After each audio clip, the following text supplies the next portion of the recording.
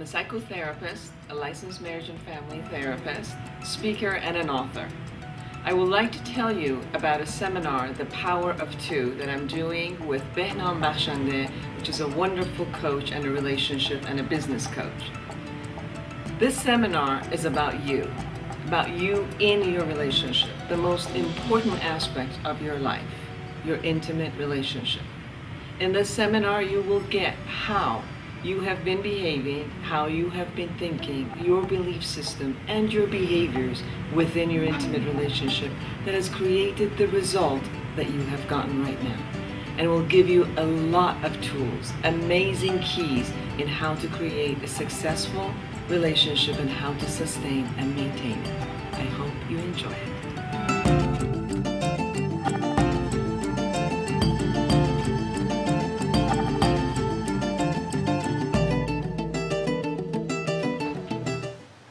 برنامه ندای درون مجددا. خوش آمدید با خانم نسرین برخورداری. گفتمانی داریم راجع به اینکه چه اتفاقی در اشخاص میفته. درست قبل از اینی که تقاضای طلاق و یا گفتمان طلاق رو جدی در ازدواجشون بیارن. تا داشتیم صحبت می‌کردیم راجع به اینی که اون نور امید یک دفعه در یک جایی شکسته میشه. و اینی که چه اتفاقی میفته که اون نور امید شکسته میشه. چه چیزی برای ماها در ذهنمون اتفاق میفته آیا فقط یک پرکاهیه که اضافه میشه به تمام بار و اون روز اون پرکاه تفاوت داره با پرای دیگه ای که روی بار اون شطور هست؟ آیا یک اتفاق سنگینی میفته که همه چیز تار و پود اون ازدواج رو میشکنه؟ چه چیزهایی ممکنه که باشه که برای هر کدوم اون اشخاص ممکنه این فضا رو به وجود بیاره؟ برای خانم های عزیز خیلی از نظر روحی و روانی به خاطر ساختمان مغزشون و چون قسمت لفت برین قسمت چپ مغز و قسمت راست مغز ارتباطاتی که بینش هست بسیار زیاده. تو hundreds of thousands حدود بیشتر از 100 هزار ارتباطات وجود داره و بنابراین وقتی که اتفاقی براشون میفته احساس و ایموشنشون به همون اندازه این باز هستش به همون اندازه درگیر هستش که دلیلی که میارن کاری رو که انجام میدن. آقایون این ارتباطات در مغزشون کمتر هستش. چون مردها به دنیا آمدن به وجود اومدن برای اینکه واقعا نون خونه رو بیارن می‌رفتن شکار مینشستن خیلی focus و توجه می‌کردن تا یک حیوان رو بتونن شکار بکنن اینو روی گردنشون مینداختن و با حالت غرور میومدن خونه و من نون خونه رو آوردم من مرد خونم و زنم رو خوشحال کردم و با اون حالت غرور دیگه detail ای دیگه ای که چقدر گرمم بود چقدر سرد بود چه اتفاقایی افتاد. اونی که با من بود چه کار کرد چقدر منو عصبانی کرد به عنوان یه مموری کوتاه میمونه و بعدم به مقدار زیادی چون این ارتباطات وجود نداره جمع نمیشه. خانم ها این دیتیلا بسیار دقیقه. یکی از حرفای من اینه که مثلا عروسی مال خانم هاست بهش میگن the bride's dream. رؤیای یه دختر هست. دخترای کوچولی سه ساله ملافه های رخت خواب سفید روی سرشون می‌کشن و شروع می‌کنن توی اتاق راه رفتن و دام دام دادام و, و واقعا توی بازیشون این آرزوی عروس بودن با وجودی حتی معنی و مفهومش هم درست نمی‌شناسن. فقط چون یکی رو به شکل یک پرنسس دیدن و دارن و بعدها هم توی هفت و هشت و نه سالگی به یک شکل دیگه و بعد توی وقتی که به عنوان یک تینیجر عاشق میشن باز احساس می‌کنن با پسری که هستن برای یک عمر باقی خواهند بود آقایون من ندیدم یه پسر سه ساله فکل بزنه یا راه بره یا این آهنگ رو بخونه یا به این توجه خاصی بکنه. و به همون نسبت هم اوایل ازدواج وقتی که خانم ها دارن دیت می‌کنن دارن بیرون میرن با یک نفر دارن عاشق میشن تمام این ریزکاری ها به نظرشون میاد. و بعد موقع ازدواج که میشه سر سفره عقد نشستن و راجع به مهریه حرف زدن و چه لباسی کی پوشیده بود و کی چی گفت و آپارتمانو که دیدیم چه شکلی بود و ما حاصل که چه شکل و به چه تصویری بود و چطور تصمیم گرفتیم بریم واقعا مثل یک ویدیو. می‌تونم بگم که چشم و مغزشون از این ویدیو هم دقیق تره. اینا رو ثبت می‌کنه و نگه میداره. و سالها بعد می‌تونه بهتون بگه که دو روز قبل از عروسی من فلانی این حرف زد و این اتفاق افتاد. مادر شوهر من اینو گفت خواهر شوهر من اینو گفت مادر مادر من اینو گفت بعد اینجوری شد بعد اونجوری شد. و آقایون واقعا میمونن که واو با این همه دیتیل همه اینا رو تو نگه داشتی. و بعدم سالای ازدواج دور برای حاملگی دور برای زایمان این خاطره ها چیزای تلخش به خصوص. واقعا حک و مهر میشه و ثابت اونجا میمونه و جمع میشه. برای آقایون خیلی سبکتره. وقتی یه اتفاقی میفته و یا حل میشه یا حل نمیشه تقریبا به فراموشی سپرده میشه. من کمتر دیدم آقایون بشینن توی office من و جمع بزنن. تو این کارو کردی بعد این کارو کردی بعد توی تاریخ ماه آبان سال فلان تو این کارو کردی و بیشتر من اینو توی خانم ها می‌بینم. و بنابراین این مسئله این جمع شدن این تاریخچه همه اینا رو نگه, دارن، نگه داشتن و حساسیت خانم ها نسبت به اتفاقات تلخی که میفته خیلی این بار رو سنگین تر می‌کنه این شکاف جدایی رو عمیق تر می‌کنه. و برای همین اتفاقایی که میفته ریپیر کردنش درست کردنش برگردوندنش و حل کردنش مسئله خیلی مهمیه که کمک می‌کنه که ما به این فکر جدایی بعضی وقتا هم خیلی ها حتی طلاق هم نمی‌گیرن خانم دکتر زینی ولی روحن جدا میشن به خاطر این اتفاقات و به خاطر این خاطره ها خیلی مهم هستش که بعد از هر اختلاف یا بعد از هر اختلاف نظری که داریم یا مسئله ای که پیش میاد واقعا این مسائل حل بشه و کسی رو از قوم و خیش و افراد قاطی نکنیم. یا یک کانسلر ببینیم یا خودمون دوتا اگر می‌تونیم اگر نه یک نفر پروفشنال یک نفر رو که بتونه بهمون کمک بکنه و برای برامون همدیگر رو ترجمه بکنه. یکی از دلایل دیگه ای که ما به طرف جدایی میریم اینه که خیلی وقتا چون زن توی یک خانواده بزرگ شده و مرد توی یک خانواده دیگه ای و اون ریچوال اون حالت ها اون افکار اون ایده ها اون اتتود اون راه و روشی که مردم بچه هاشون رو بزرگ می‌کنن با همدیگه متفاوته ما خیلی وقتا همسرمون رو نمیشنویم. و وقتی اون حرفی رو می‌زنه مادر خواهر برادر از شهرمون می‌دونیم که همدونی و شیرازی و اصفهانی و تهرانی ایده هاشون به همدیگه نزدیک و از همدیگه یک ذره متفاوته. یعنی همه جای دنیا همینه نه فقط توی ایران. و بنابراین هر چقدر این کالچرال چه از نظر خانوادگی چه از نظر شهری یه مقداری جداتر و سنگینتر و تفاوتها بیشتر باشه دو نفر با همدیگه صحبت می‌کنن ولی کامیونیکیشن اون ارتباط اتفاق نمیفته و من صدای یکی دیگر رو کسی که توی زندگی من دختری که توی زندگیم بوده پسری که توی زندگیم بوده و قبلا منو هرت کرده اونو میشنوم. بی اعتمادی که نسبت به یک پدر یا دوست پسر یا دایی و برادر داشتم ترانسفر میشه ترجمه میشه توی این رابطه با مردی که اصلا ارتباط و رابطه با اون اتفاقا نداره. زمانی که حرف می‌زنیم راجع به کسانی که در حقیقت در یک رابطه ای دارن بالا پایین میرن. و بعد نگاه می‌کنیم به طریق بالا پایین رفتنشون و نگاه می‌کنیم که یک خطی معمولا هست که این شکایت و شکوه ها و روشی که با هم دارن در حقیقت سالیان سال یکسان هست. و بعضی موقع می‌تونیم که شاید در 15 دقیقه مدل گفتمان این رو که در دفترمون میشنویم تخمین بزنیم که آیا این رابطه به طلاق می‌رسه یا نمی‌رسه.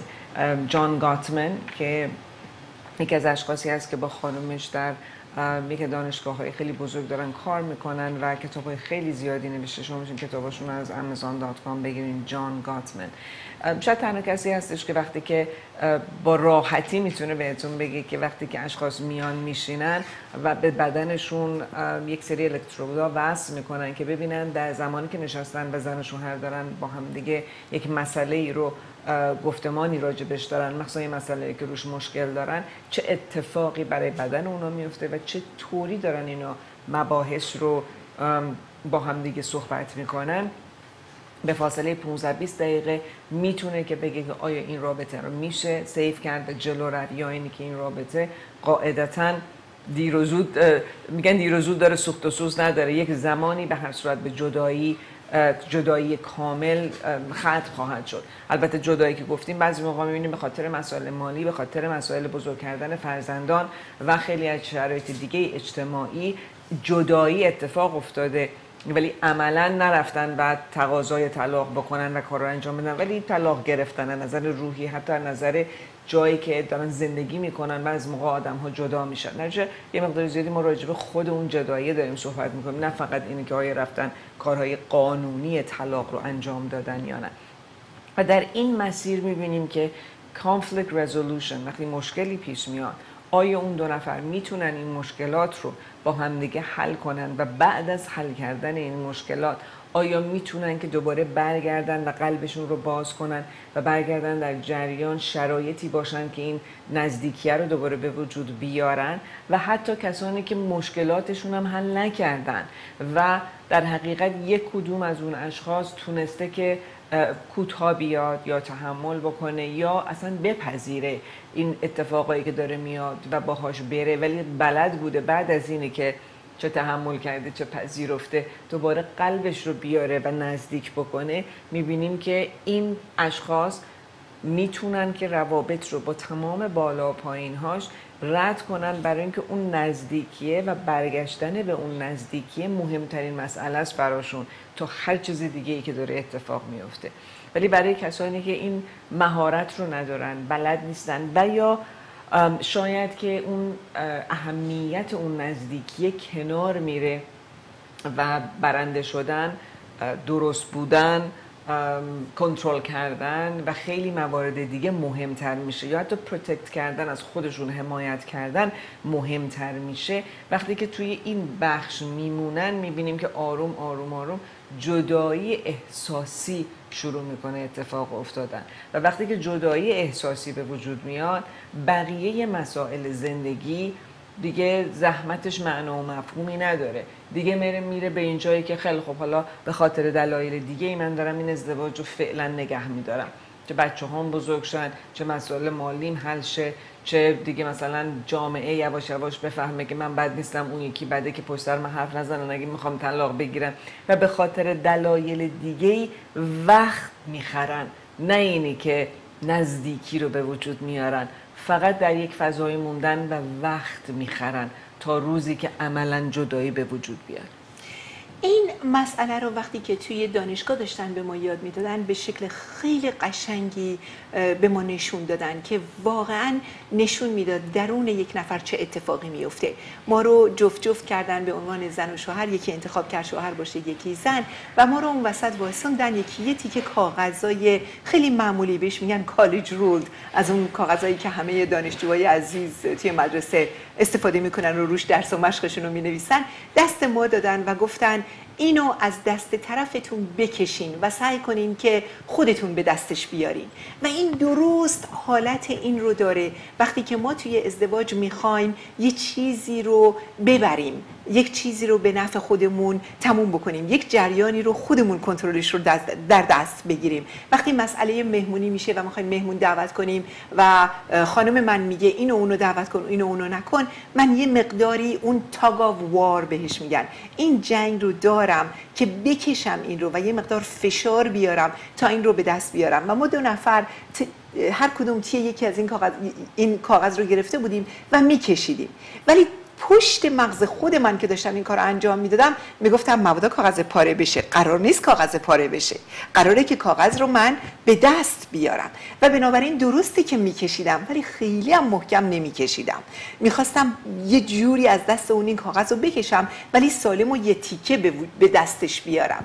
و برای همین اون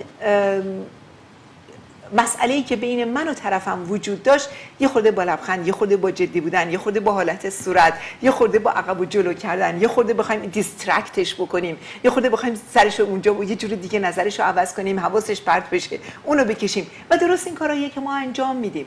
دیسترکت کردن از جریان یکی از کارهایی که به خصوص ما ایرونی ها خیلی قشنگ یاد گرفتیم انجام بدیم. وقتی شوهر میاد خونه و به, به خانمش میگه چرا شام حاضر نیست؟ تو هر روز خونه بودی. تو می‌دونی من گرسنه میام خونه منی که پای تلفن رفتم و با دوستم حرف می‌زدم و اصلا یادم رفت چه ساعتی بود و بعدم فکر کردم خب حالا وقتی اومد شروع می‌کنم اب نداره نیم ساعتم دیر و واقعا فکر نکردم و نمی‌تونم از خودم دفاع کنم فوری برمیگردم. چی می‌خوای از جون من؟ صبح تا شب دارم تو این خونه میچرخم. یادت هفته پیش که مادرت اینو اونو به من گفت و کاملا جریان رو عوض می‌کنیم. اینو من توی اون جنگ با اون حالتی که داشتم کاغذ رو میکشیدم می‌دیدم که با یک لبخند می‌خوام حواسش رو پرت کنم. که با یک جمله می‌خوام یه جای دیگه ببرمش که یه ذره اون تمرکز اون حواسی رو که روی اون کاغذ داره نداشته باشه.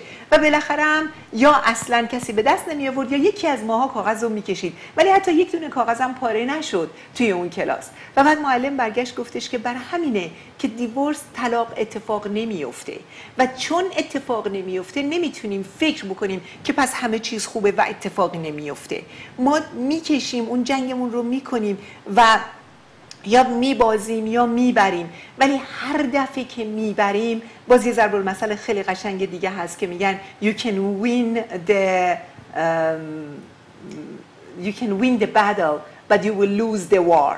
یعنی هر دفعه که برنده میشی اگر به عنوان یک کنترلر این کنترل رو به دست بگیری آخر سر اون مثل این کاغذ نیست که تو به دستش آوردی تموم شده رفته. این کاغذ ها جمع میشه زخیم میشه. این حالت به جایی می‌رسه که تو فشار اون کشیدن رو بیشتر می‌کنی و دیگه برات مهم نیست اگه پاره بشه. چون وزنه اون درد روی تو مونده. یکی از مواردی که اتفاق هم میفته تو این کشمکش هایی که هست اینه که خیلی موقع ها ماها از کشمکش های اولیه‌ای که در رابطه اتفاق میفته همدیگه رو یه شناختی از همدیگه برامون به وجود میاد یک برچسبی روی اون شخص می‌ذاریم. این آدم این شکلیه.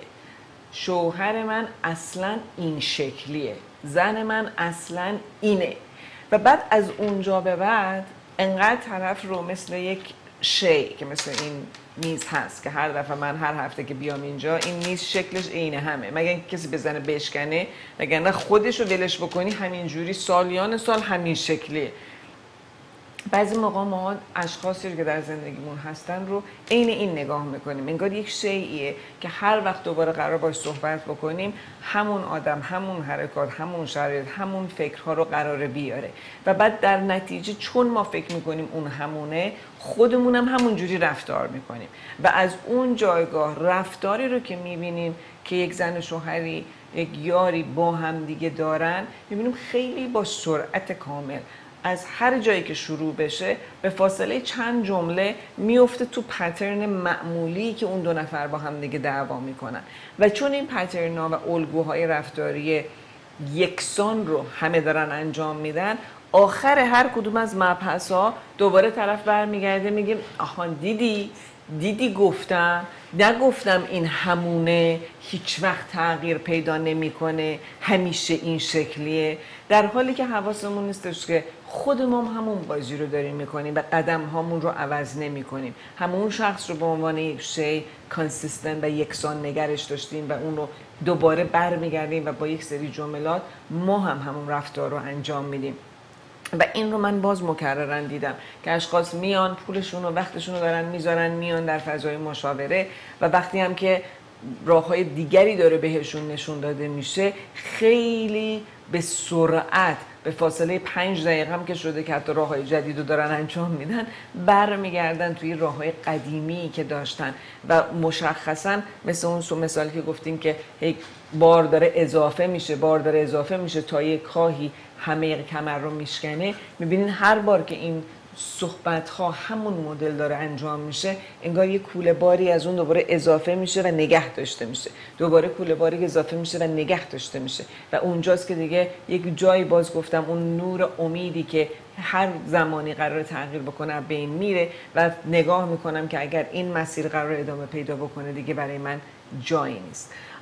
این قسمت های مختلفی رو که ارتباطات آروم آروم شکننده میشن و خودشون رو به اونجا میرسونن رو در برنامه های دیگه قسمت های دیگه رو براتون حتما تعریف خواهیم کرد. نگاه های مختلفی از دیدگاه های مختلفی به اون خواهیم داشت و در نتیجه در این سری گفتمانی که راجع به طلاق داریم حتما با ما باشید. برای بقیه تمام برنامه های ندای درون توی فیسبوک و توی توییتر و توی یوتیوب چنل خواهد بود. در نتیجه برید. یک مباحث جدیدی هم شروع کردیم روی هر روز تقریبا یک زمانی در روز چه توی فیسبوک چه توی تویتر چه توی لینکدین داریم مبحث باز می‌کنیم که چه چیزی رو دوست دارید روی زندگیتون و خواهش می‌کنم جواب بدید و اجازه بدید که interactive باشیم با شما و بقیه کسانی که تمام follower ایی که هستن. پس در اینجا سوال اصلی اینه که چی رو تو زندگیتون دوست دارید و شما رو خوشحال می‌کنه؟